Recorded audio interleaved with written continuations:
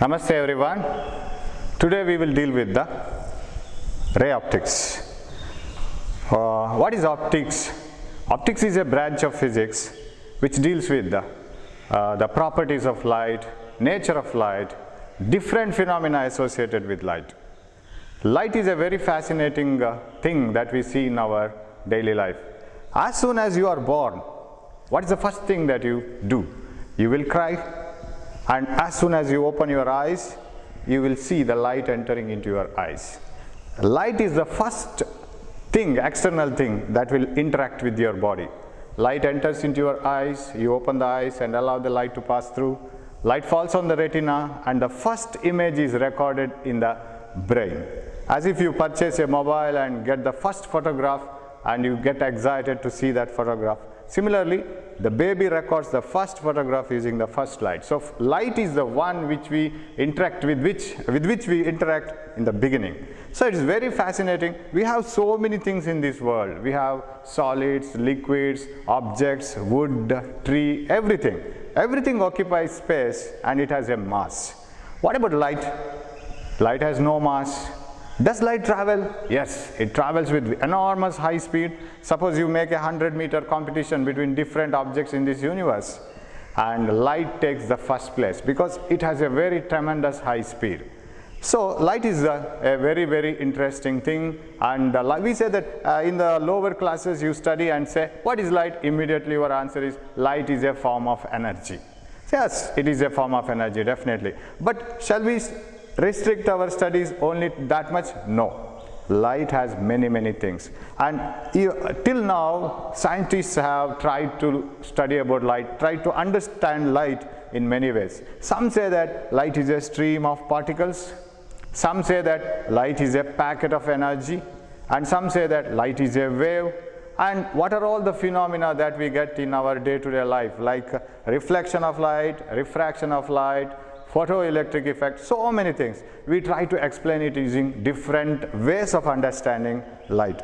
And some say it is uh, having wave nature, some say that it is a particle nature, it has a quantum, uh, it has a quantum of energy, and some say that it is a mixture, and they say that it has dual nature, sometimes it behaves like this and like that. So, light has become a very fascinating thing for all the people in this universe, and uh, uh, suppose you take a, a pipe uh, with water and if you put the pipe uh, uh, water in the pipe like this and it will be attracted by the gravity and the water in the pipe will not move straight like this it will go down. Suppose you take a torch light and put the torch light like this the torch light moves straight.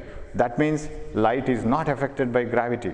Light travels with such a high speed that gravity finds no time to attract it. By that time light would have escaped away. So light travels with enormous high speed, it is not affected by gravity. We say that it has no mass at all. And uh, so the study of light is very important in this universe. Without light, nothing can survive in this universe. Light is a major requirement for all the living beings. And that light is studied under different aspects. One is nature of light, its phenomena and everything and another is what are the characteristics of light. So we differentiate it into different parts and one part is ray optics. Why it is called ray optics? What is the meaning of ray? Ray is an, uh, uh, uh, some conventional way of representing a light in a paper. So we represent a light like this. It will be represented by a straight line with an arrow. Usually we represent a light like this. Sir, if a light is represented by a straight line with an arrow, what, what I, we have some doubts. How long it should be and how thin it should be. Now suppose you have many many rays clubbed together. Suppose you have a torchlight. Whether it is a racer no it is a collection of rays light coming from a torch will contain collection of rays like this and that is called a beam beam of light. Collection of rays is called a beam. Okay? Then what is a ray? Ray is a thin beam. How much thin as thin as possible. There is no limit for it. As much you can take, that is, uh, that is enough. So take a thin ray of light like this. Now, whether this is very thin, if you ask a student whether this is a thin ray of light, yes, it is a thin ray of light and you can call it as a ray. And this is not a collection of some other rays. This is not made up of some other rays, so we call it as a ray. But if you ask an ant, very small ant, ant will come here and it will say, sir, this is very thick and it is a beam of light. For an ant, this is a thicker one. But for us, this is enough. So, a straight line path of the light is represented by an arrow like this and a straight line and we call it as a ray. Ray is the path of a light which is represented in a uh, diagram. So from here onwards we use uh, this uh, notation and we know that in a medium where optical density is the same throughout, the optical density and uh, we will come across a word called refractive index doesn't change with distance. If it is isotropic everywhere, light travels in straight line. So this is a, common property that you study in your lower classes that is called rectilinear propagation of light. Light always travels in a straight line and since it travels in a straight line we could represent a ray by a straight line and of course it changes the direction when it moves from one place to another, one medium to another and all these things are uh, okay. But in a optical medium, in a uniform optical medium, isotropic medium, it travels in straight line and that rectilinear propagation of light helps us and helps us to a large extent to study light because we have a separate branch called geometry, mathematics. You can apply all the things that you get in geometry, all the theorems and proofs and everything. You can apply it here for the light since light travels in straight line. And uh, in the beginning I told that study of different properties of light is very useful nowadays. Okay, Already you have seen many properties of light like reflection. What do you mean by reflection? When light falls on certain material, a part of it bounces back to the same medium. That is called reflection. Of course, reflection can be seen in many uh, aspects. Suppose you throw a ball like this, it gets reflected. If you drop a ball vertically downwards, it gets reflected. So reflection can be seen in many ways. Light also gets reflected from any surface. Amount of reflection may be different. When you put a light on a mirror, the amount of light reflected will be more compared to when a light is put on a wall. If you put a light on a wall, the wall is not so polished, so its uh, reflected light will not be much more. More amount of light may be scattered, but there is reflection. Now when we study all these things one by one, first the simplest one is reflection. Reflection of light and you study this property in your lower classes itself. Light rebounds back when it falls on certain medium, a portion of light say, and that is called reflection. And when it undergoes reflection, it follows some properties. It follows, it always follows some properties and it doesn't uh, disobey those properties at all. That is always true. And what are those properties? One is when a ray of light Say this is a reflecting medium, say surface of glass or surface of water or a mirror say. I will represent the mirror like this and this is the uh, side where it is uh, painted, light can't enter into that. This is the side, upper side is the side from where it can reflect the light. Okay, now take a ray of light, a very thin beam of light. Say one, uh, uh a laser beam, you put a laser beam here it, like, as soon as the light falls on it, like a ball, it gets reflected. And remember, this reflection is immediate process because we know that light travels with enormous high speed. So light gets reflected back to the same medium. And when it gets reflected like this, so arrow mark shows that it's going towards the medium and rebounding back to the other side. We, using geometry, for our convenience, we, in order to study the light property, we define some things here. Of course, light doesn't know that uh, it has so many things here. We, for our understanding purpose, we imagine a perpendicular line here, like this. And this is called normal. Since uh, it is not found in this uh, uh, reflection process, we put it in a dotted line. This is not in reality. We don't see a normal line on any surface.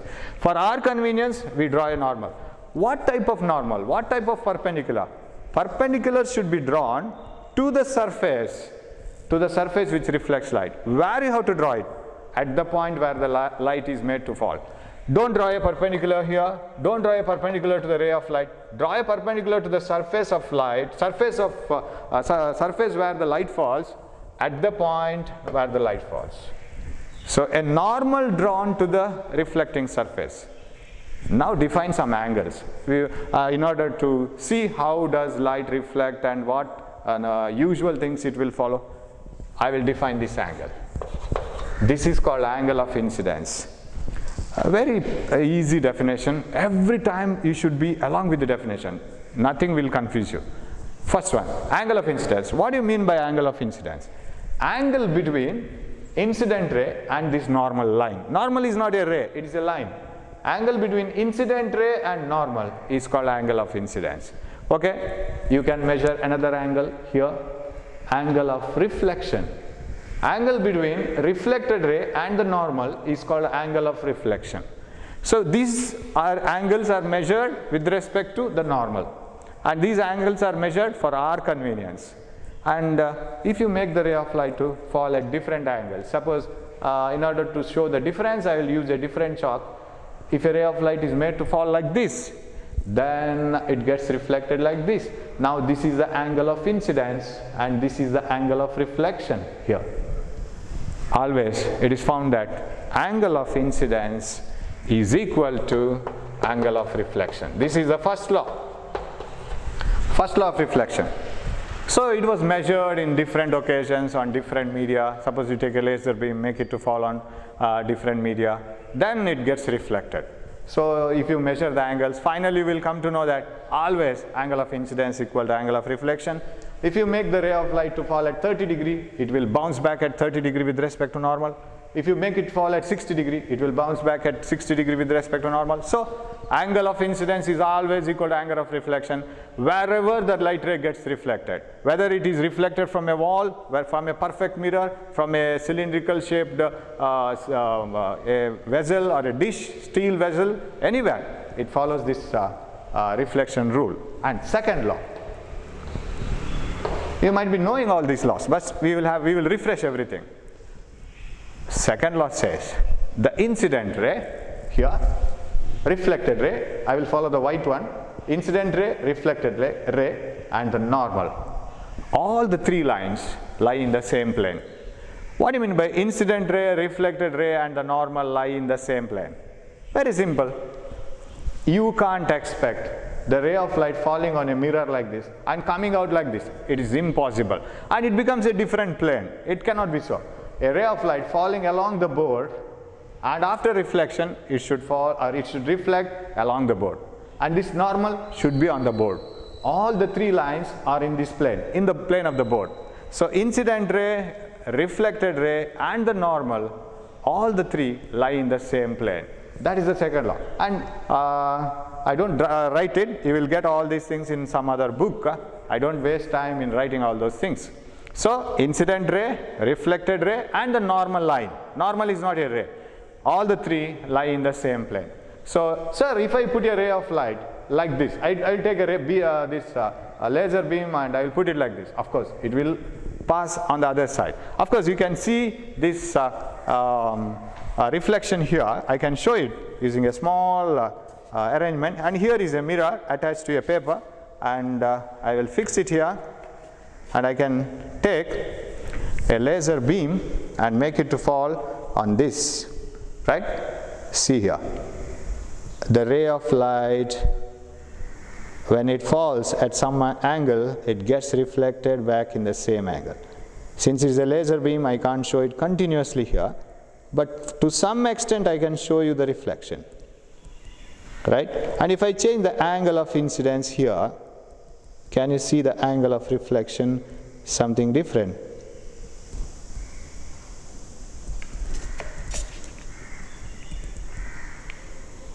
I'll try this. Yes, at the point of incidence, since it is laser, it doesn't get switched on continuously. To some extent, I can show the reflection here. Yes, so, and uh,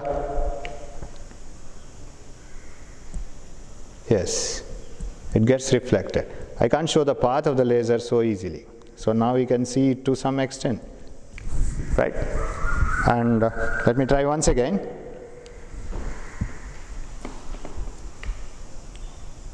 Yes. So to some extent I can show you. So here also it gets reflected. Path cannot be shown so neatly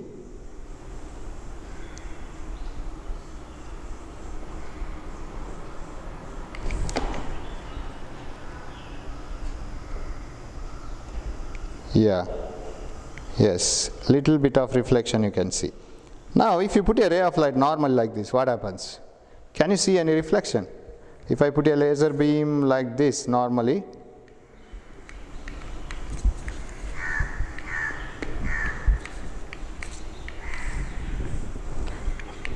okay yes So it gets reflected back in the same path but in the opposite direction. Wait, wait for a while. I can put it like this. Yes. If a ray of light is incident normally like this, it reflects back in the same path but in the opposite direction. So that is also one of the incidents. Remember, we always uh, uh, uh, have a confusion here. Uh, there is a chance of going wrong angles are always measured with respect to normal. It is not with respect to the surface. We draw a normal to the surface and measure the angles. Angle between incident ray and the normal. Angle between reflected ray and normal. Suppose you choose a ray of light like this. This is the surface which reflects the light and if a ray of light is incident along the normal itself. We say that it is normal incidence but angle of incidence is not 90 degrees. Normal incidence in the sense it is incident normally on the surface but it doesn't mean that angle of incidence is 90. Angle of incidence is 0 because the ray is along the normal itself. Angle between the normal and the incident ray is 0. The right light reflects back like this. What is the angle of reflection? That is 0. So that is also followed here. Angle of incidence when it is 0 that means when the ray of light is incident normally on the uh, surface, it gets rebounded back in the same path but in the opposite direction. So angle of reflection is zero.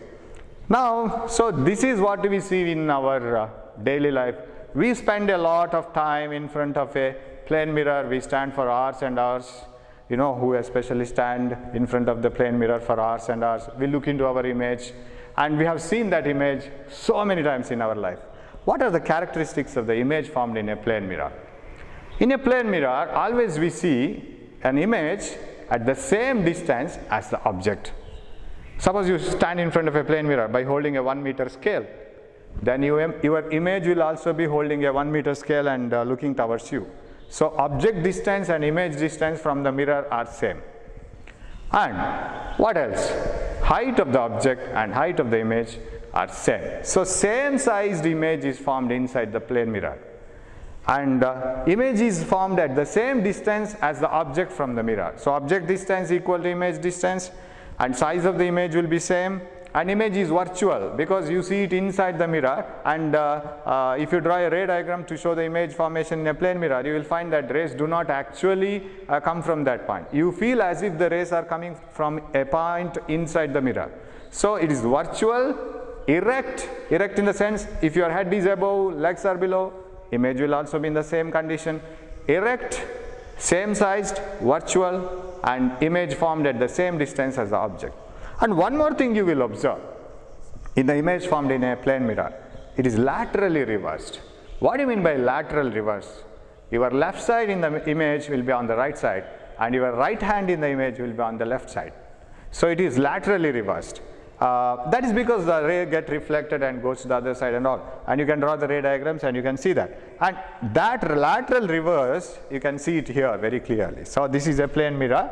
I have a plane mirror here and uh, this is a clock you see the time time in the clock uh, time in the clock is now about almost uh, 4 hours 5 minutes right 4 hours 5 minutes of course I didn't purposefully I didn't uh, uh, write the numbers here but you can identify the um, time.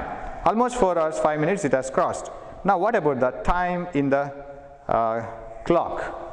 Time in the clock is uh, how much it is uh, time in the clock is somewhat like I will look into that. It is uh, uh, 7 o'clock, is it not? 7 o'clock and uh, almost 55 minutes. Is it? I will, I will try to uh, show you in the mirror.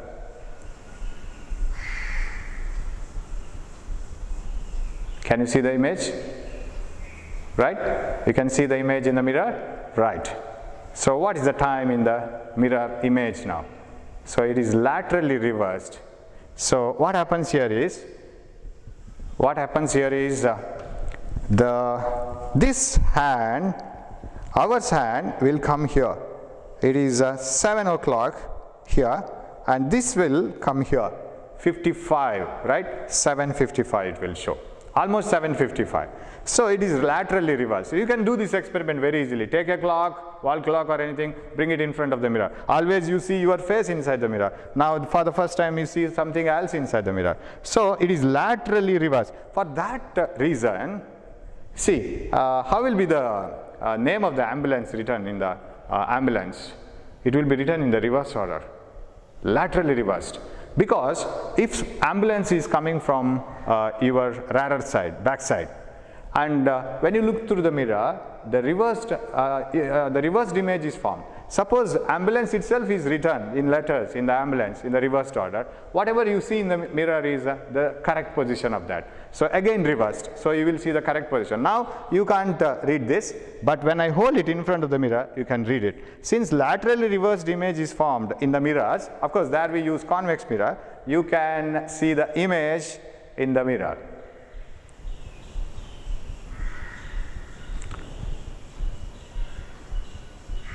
Can you see that ambulance now, uh, the correct reading? So actually it is reversed here, right? I will check, I will set it. Right? Yes. You can see that, right? Yes. So here it is reversed. So it is always reversed uh, return because we have to give uh, way to the ambulance and uh, ambulance uh, uh, will be always giving service to the people who are in need of immediate treatment. So we have to give them, give them the part. So you can immediately notice it and you can allow it. So in a plane mirror, so we have the image which is of the same size as the object, laterally reversed image but erect, it is not inverted, virtual at the same distance as the object inside the mirror. Okay, now, now we will enter into the actual syllabus. We have curved mirrors. The outside part of a spoon, inside part of a spoon, the vehicle mirror that we use for observing the rare, rarer objects, all these are curved mirrors. How does reflection occur in curved mirror? Sir, does all these, uh, um, uh, does uh, reflection uh, laws are followed in uh, even in uh, other mirrors? Yes, it is followed everywhere. Wherever there is reflection, this is followed. Angle of incidence equal to angle of reflection and incident ray, reflected ray and normal all lie in the same plane. You have observed when I put the laser beam into that, laser beam was going along with that sheet and it was reflecting along with that sheet and everything and normal was also on the sheet. It doesn't went into the different direction. So if this is the sheet, when light enters like this, gets reflected, normal is also on the, on the palm. So they all lie in the same plane. Incident ray, reflected ray and normal all lie in the same plane. Sir, if I want to draw uh, some rays of light in a curved mirror, what I have to do? Now first of all, we will see how many types of curved mirror we are going to study. We will study different types of curved mirror, mainly two types we are going to study. One is concave mirror, another is convex mirror. Now, here you know that if you incident a ray of light, normally angle of incidence is zero because it is along the normal itself. Angle is measured with respect to the normal. If you incident a ray of light normally, it gets reflected back along the normal again, but in the opposite direction. I is 0, R is 0. If it is incident at some angle, it reflects back at the same angle with respect to the normal. Okay, coming to the curved mirror now.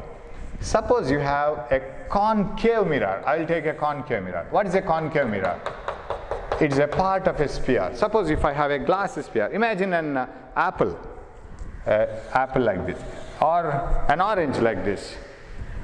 cut one part of the orange or this is a cricket ball, rubber ball say, tennis ball, that's the best choice. Take a tennis ball, cut it from one end. Will you get a bowl-like arrangement like this? You will get a bowl-like arrangement. Now if you put a ray of light inside this and if it gets reflected, then this is concave mirror. Concave inside. You can go inside it, inside it. So if it is reflecting from the inside part, then it is a concave mirror. It is a curved mirror now. So it, this is a part of a sphere now.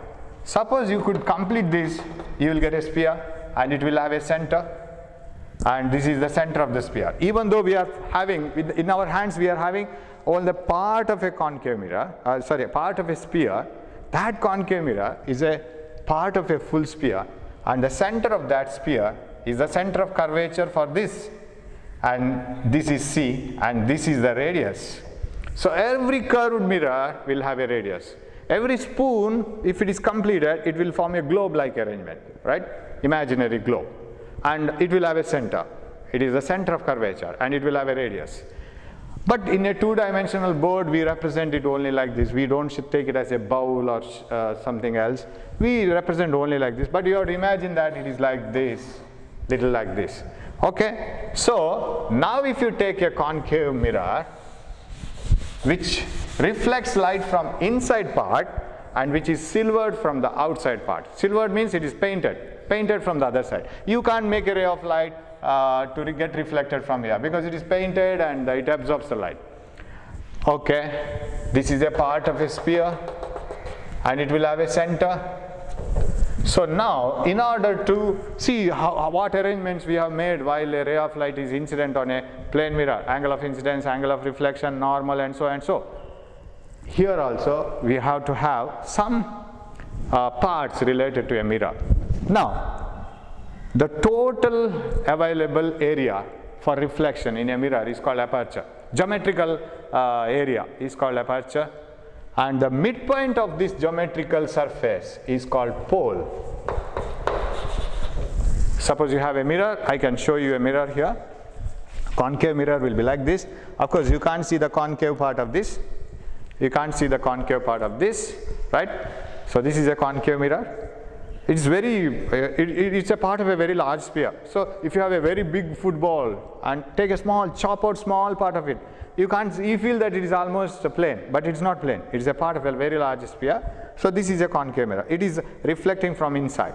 Uh, when we were kids we used to play with this. We can form the image of this. I will show how the image is formed. One minute you can get the image of the outside objects using this concave mirror see you can see the image we will see what type of image is formed and uh, how it is uh, recognized can you see the image here formed due to concave mirror. Right? It's outside building that you can see, but inverted. Right? So we used to play with this concave mirror. Uh, we used to bring this concave mirror from uh, exhibitions or uh, uh some festivals, shops, and we used to get the image. You can see the image now. Okay, I will try to get a uh, better image.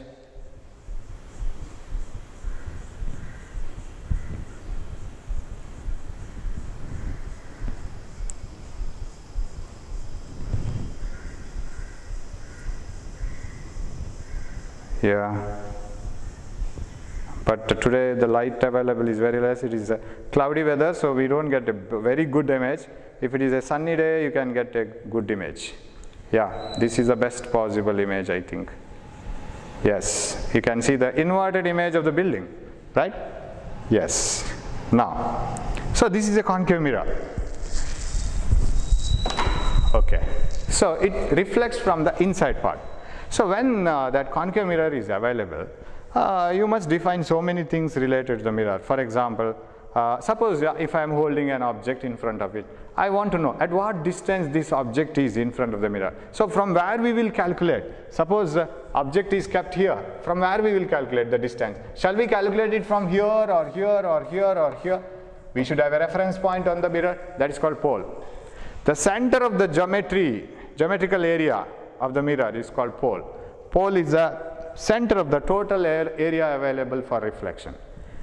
Geometric center of the mirror is called pole. And uh, concave mirror is a part of a sphere and the center of the sphere is center and distance from center to pole. Let me write a neat diagram. This is the concave mirror which is painted outside and it's reflecting from the inside part. Geometric center is called pole and uh, this is the center of that imaginary sphere of which this is a part and distance from the center to the pole is called radius of curvature. Radius of a spherical mirror is the distance from the center to the pole and now let us try to put different rays of light onto the uh, curved mirror. As if we did it in a plane mirror, we will put one by one ray of light. Now in concave mirror, there is a very special ray. Suppose you hold the concave mirror in front of the sun or a, a distant object. What I did now, parallel rays will come to the concave mirror and they will fall and they will get focused at a particular point. So if parallel rays are incident on a concave mirror, let me use different colored chalk. These are the rays now. If parallel, parallel rays are incident on a concave mirror and uh, uh, they should be uh, parallel and very close to this uh, axis, after reflection they pass through a point and that point is called focus. This is called focus. So, and here we define one more thing. See, the distance from center to pole is called radius. What is this line which is joining the center and pole? And it can be called an axis. It can be of any length. You extend it from either sides. Don't stop it from center to pole. Extend it throughout. A line joining the center and the pole is called principal axis. So this is principal axis.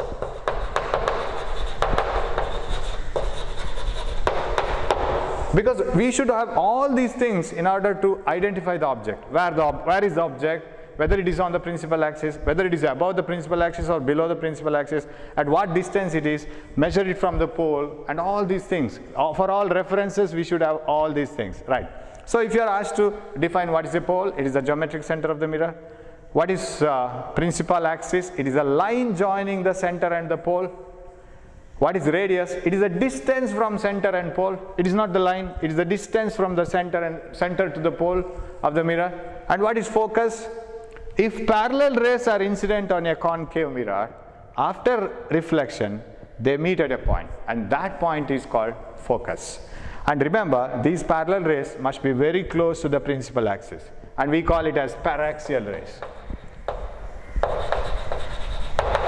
Paraxial rays means rays which are parallel to the principal axis and close to the principal axis. All of them meet at the same point and that point is called focus and every mirror is characterized by focal length. What do you mean by focal length? Focal length is the distance from the focus to the mirror pole. Distance from the focus to the pole is called focal length. And remember, when you represent all these distances and points, we should follow always some notations. Focus, capital F.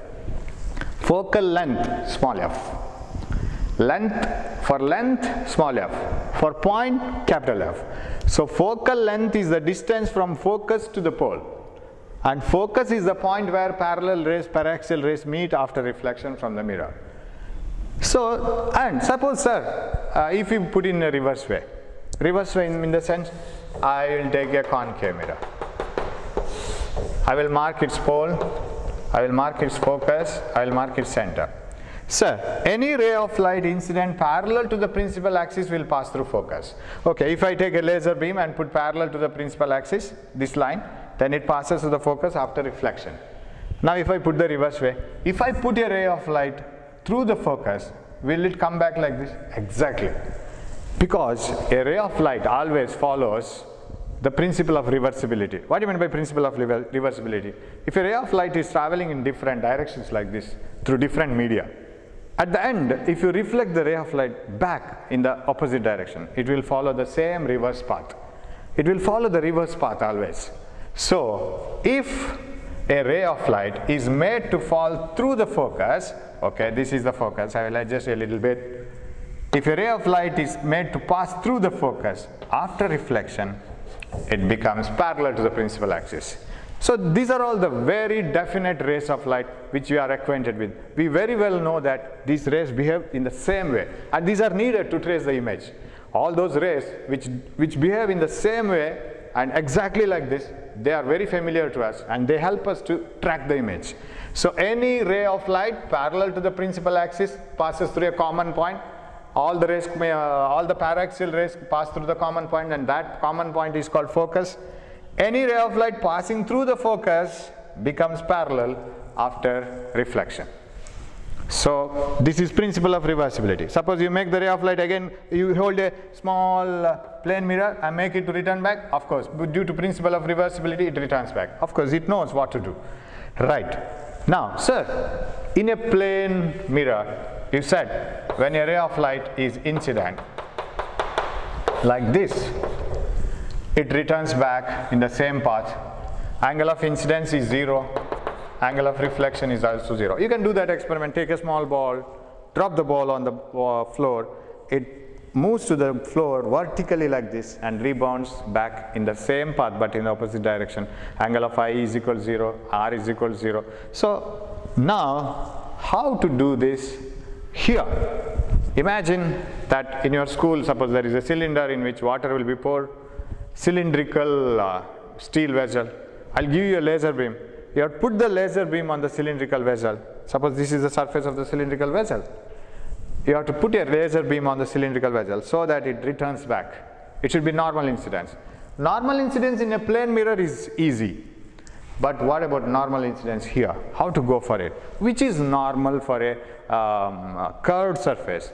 It's very easy. Suppose you have a circle imagine this is a circle or need not imagine it's a circle. It's a beautiful circle now. How to draw a perpendicular line to this surface?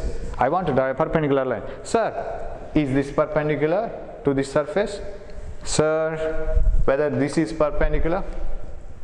This is perpendicular to this surface? Sir, I will use one more color chalk. Yes. Sir, is this perpendicular to this surface? Which is perpendicular, sir? Any line which is directed towards the center will be always perpendicular to that curvature. For this curvature, this line is perpendicular, of course. It should be directed towards the center like this.